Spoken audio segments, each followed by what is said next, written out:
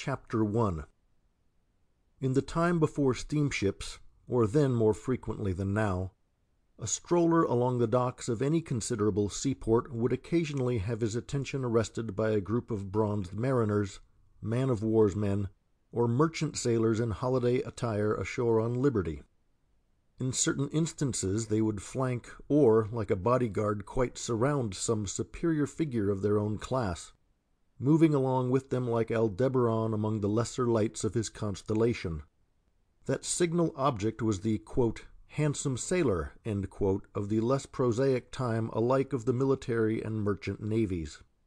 With no perceptible trace of the vainglorious about him, rather with the offhand unaffectedness of natural regality, he seemed to accept the spontaneous homage of his shipmates.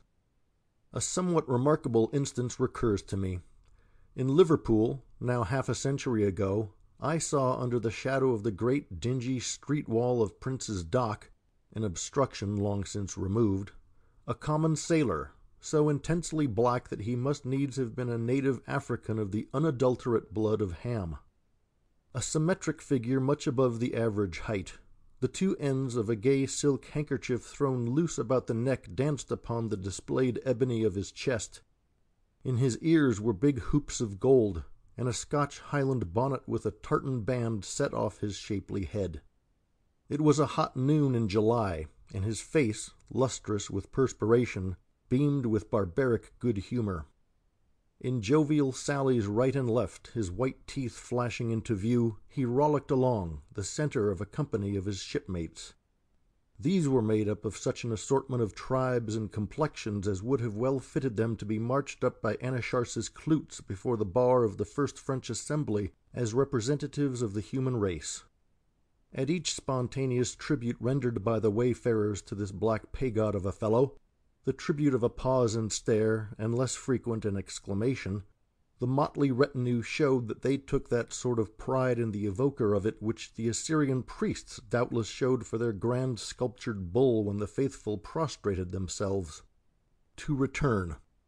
If in some cases a bit of a nautical Murat in setting forth his person ashore, the handsome sailor of the period in question evinced nothing of the dandified Billy be Dam an amusing character all but extinct now, but occasionally to be encountered, and in a form yet more amusing than the original, at the tiller of the boats on the tempestuous Erie Canal, or, more likely, vaporing in the groggeries along the towpath. Invariably a proficient in his perilous calling, he was also more or less of a mighty boxer or wrestler. It was strength and beauty. Tales of his prowess were recited. Ashore he was the champion, afloat the spokesman, on every suitable occasion always foremost. Close reefing topsails in the gale, there he was, astride the weather yard arm, foot in stirrup, both hands tugging at the earing as at a bridle, in very much the attitude of young Alexander curbing the fiery Bucephalus. A superb figure, tossed up as by the horns of Taurus against the thunderous sky, cheerily hallooing to the strenuous file along the spar. The moral nature was seldom out of keeping with the physical make; indeed, except as toned by the former, the comeliness and power, always attractive in masculine conjunction, hardly could have drawn the sort of homage the handsome sailor in some examples received from his less gifted associates. Such a cynosure, at least in aspect, and something such too in nature, though with important variations made apparent as the story proceeds, was welkin eyed Billy Budd, or Baby Budd as more familiarly, under circumstances hereafter to be given, he at last came to be called. Aged twenty one, a foretopman of the fleet toward the close of the last decade of the eighteenth century. It was not very long prior to the time of the narration that follows that he had entered the king's service, having been impressed on the narrow seas from a homeward bound English merchantman into a 74 outward bound H.M.S. Indomitable, which ship as was not unusual in those hurried days, had been obliged to put to sea short of her proper complement of men. Plump upon Billy at first sight in the gangway the boarding officer, Lieutenant Ratcliffe, pounced, even before the merchantman's crew formally was mustered on the quarter deck for his deliberate inspection, and him only he selected. For whether it was because the other men when ranged before him showed to ill advantage after Billy, or whether he had some scruples in view of the merchantman being rather short-handed. However it might be, the officer contented himself with his first spontaneous choice. To the surprise of the ship's company, though much to the lieutenant's satisfaction, Billy made no demur. But indeed, any demur would have been as idle as the protest of a goldfinch popped into a cage. Noting this uncomplaining acquiescence, all but cheerful, one might say, the shipmates turned a surprised glance of silent reproach at the sailor. The shipmaster was one of those worthy mortals found in every vocation, even the humbler ones, the sort of person whom everybody agrees in calling a respectable man. And, nor so strange to report as it may appear to be, though a ploughman of the troubled waters, lifelong contending with the intractable elements, there was nothing this honest soul at heart loved better than simple peace and quiet. For the rest, he was fifty or thereabouts, a little inclined to corpulence, a prepossessing face, unwhiskered, and of an agreeable color, a rather full face, humanely intelligent in expression. On a fair day, with a fair wind, and all going well, a certain musical chime in his voice seemed to be the veritable unobstructed outcome of the innermost man. He had much prudence, much conscientiousness, and there were occasions when these virtues were the cause of overmuch disquietude in him. On a passage, so long as his craft was in any proximity to land, no sleep for Captain Graveling. He took to heart those serious responsibilities not so heavily borne by some shipmasters. Now, while Billy Budd was down in the forecastle getting his kit together, the Indomitable's lieutenant, burly and bluff, nowise disconcerted by Captain Graveling's omitting to proffer the customary hospitalities on an occasion so unwelcome to him, an omission simply caused by preoccupation of thought, unceremoniously invited himself into the cabin and also to a flask from the spirit locker, a receptacle which his experienced eye instantly discovered. In fact, he was one of those sea dogs in whom all the hardship and peril of naval life in the great prolonged wars of his time never impaired the natural instinct for sensuous enjoyment. His duty he always faithfully did, but duty is sometimes a dry obligation, and he was for irrigating its aridity whensoever possible with a fertilizing decoction of strong waters. For the cabin's proprietor there was nothing left but to play the part of the enforced host with whatever grace and alacrity were practicable. As necessary adjuncts to the flask, he silently placed tumbler and water jug before the irrepressible guest. But excusing himself from partaking just then, dismally watched the unembarrassed officer deliberately diluting his grog a little, then tossing it off in three swallows, pushing the empty tumbler away yet not so far as to be beyond easy reach, at the same time settling himself in his seat, smacking his lips with high satisfaction, and looking straight at the host. These proceedings over, the master broke the silence, and there lurked a rueful reproach in the tone of his voice. Lieutenant, you are going to take my best man from me, the jewel of 'em. Yes, I know, rejoined the other, immediately drawing back the tumbler preliminary to a replenishing. Yes, I know. Sorry. Beg pardon, but you don't understand, Lieutenant. See here now. Before I shipped that young fellow, my forecastle was a rat pit of quarrels. It was black times, I tell you, aboard the Rights here. I was worried to that degree my pipe had no comfort for me. But Billy came, and it was like a Catholic priest striking peace in an Irish shindy. Not that he preached to them or said or did anything in particular, but a virtue went out of him, sugaring the sour ones. They took to him like hornets to treacle, all but the bluffer of the gang, the big shaggy chap with the fire red whiskers. He indeed, out of envy perhaps of the newcomer, and thinking such a sweet and pleasant fellow, as he mockingly designated him to the others, could hardly have the spirit of a gamecock, must needs bestir himself in trying to get up an ugly row with him. Billy forbore with him, and reassured with him in a pleasant way. He is something like myself, Lieutenant, to whom aught like a quarrel is hateful, but nothing served. So in the second dog watch one day, the Red Whiskers, in presence of the others, under pretence of showing Billy just whence a sirloin steak was cut, for the fellow had once been a butcher, insultingly gave him a dig under the ribs. Quick as lightning, Billy let fly his arm. I dare say he never meant to do quite as much as he did, but anyhow he gave the burly fool a terrible drubbing. It took about half a minute, I should think. And Lord bless you, the lubber was astonished at the celerity. And will you believe it, Lieutenant, the Red Whiskers now really loves Billy. Loves him, or is the biggest hypocrite that ever I heard of. But they all love him. Some of 'em do his washing, darn old trousers for him. The carpenter is at odd times making a pretty little chest of drawers for him. Anybody will do anything for Billy Budd, and it's the happy family here. Now, Lieutenant, if that young fellow goes, I know how it will be aboard the Rights. Not again very soon shall I, coming up from dinner, lean over the capstan smoking a quiet pipe. No, not very soon again, I think. Ay, Lieutenant, you are going to take away the jewel of 'em. You are going to take away my peacemaker. And with that the good soul had really some ado in checking a rising sob. Well, said the lieutenant, who had listened with amused interest to all this, and now waxing merry with his tipple, well, blessed are the peacemakers, especially the fighting peacemakers.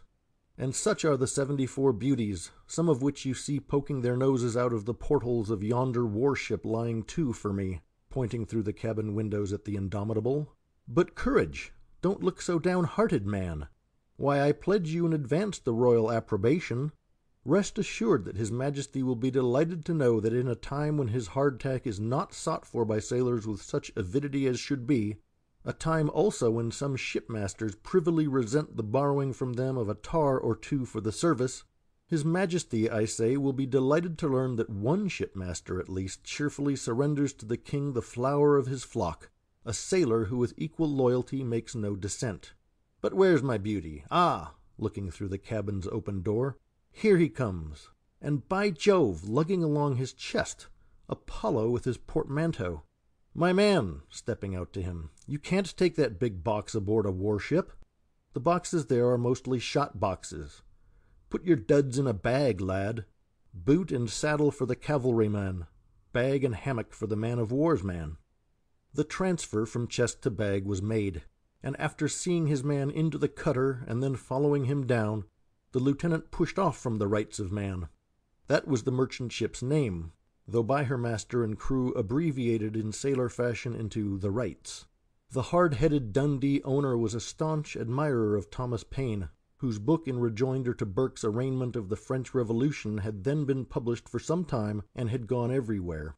In christening his vessel after the title of Paine's volume, the man of Dundee was something like his contemporary shipowner, Stephen Girard of Philadelphia whose sympathies alike with his native land and its liberal philosophies he evinced by naming his ships after Voltaire, Diderot, and so forth. But now, when the boat swept under the merchantman's stern, an officer and oarsman were noting, some bitterly and others with a grin, the name emblazoned there, just then it was that the new recruit jumped up from the bow where the coxswain had directed him to sit, and, waving his hat to his silent shipmates sorrowfully looking over at him from the taffrail, bade the lads a genial good-bye. Then, making a salutation as to the ship herself, "And good-bye to you, too, old Rights of Man!"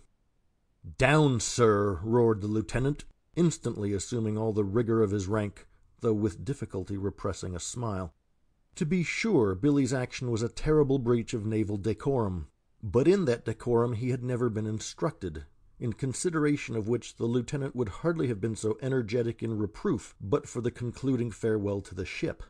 This he rather took as meant to convey a covert sally on the new recruit's part, a sly slur at impressment in general, and that of himself in especial.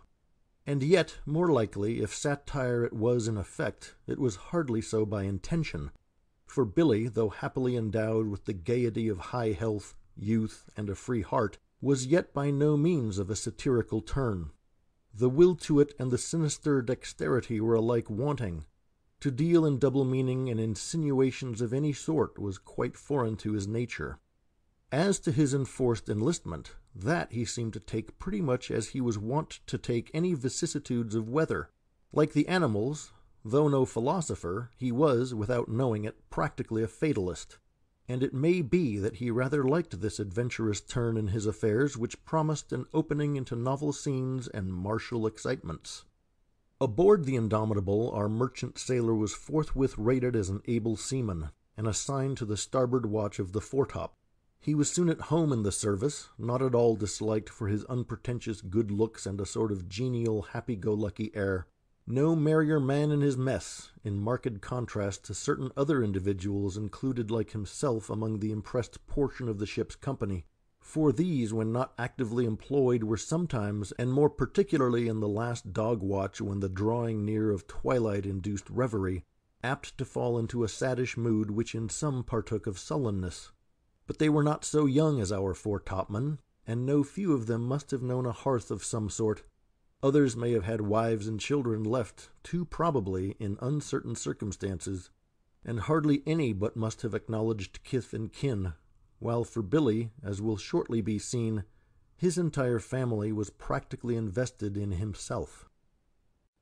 Chapter II Though our new made foretopman was well received in the top and on the gun decks, hardly here was he that cynosure he had previously been among those minor ships' companies of the merchant marine, with which companies only had he hitherto consorted.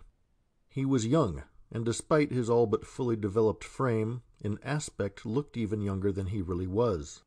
This was owing to a lingering adolescent expression in the as yet smooth face all but feminine in purity of natural complexion, but where, thanks to his sea going, the lily was quite suppressed, and the rose had some ado visibly to flush through the tan. To one essentially such a novice in the complexities of factitious life, the abrupt transition from his former and simpler sphere to the ampler and more knowing world of a great warship, this might well have abashed him had there been any conceit or vanity in his composition. Among her miscellaneous multitude, the Indomitable mustered several individuals who, however inferior in grade, were of no common natural stamp sailors more signally susceptive of that air which continuous martial discipline and repeated presence in battle can in some degree impart even to the average man. As the handsome sailor, Billy Budd's position aboard the seventy four was something analogous to that of a rustic beauty transplanted from the provinces and brought into competition with the high born dames of the court. But this change of circumstances he scarce noted. As little did he observe that something about him provoked an ambiguous smile in one or two harder faces among the blue jackets. Nor less unaware was he of the peculiar favourable effect his person and demeanour had upon the more intelligent gentlemen of the quarter deck. Nor could this well have been otherwise cast in a mould peculiar to the finest physical examples of those Englishmen in whom the Saxon strain would seem not at all to partake of any Norman or other admixture, he showed in face that humane look of reposeful good nature which the Greek sculptor in some instances gave to his heroic strong man, Hercules. But this again was subtly modified by another and pervasive quality the ear, small and shapely, the arch of the foot, the curve in mouth and nostril. Even the indurated hand dyed to the orange tawny of the toucan's bill. We hope you enjoyed this preview. To continue listening to this audiobook on Google Play Books, use the link in the video description.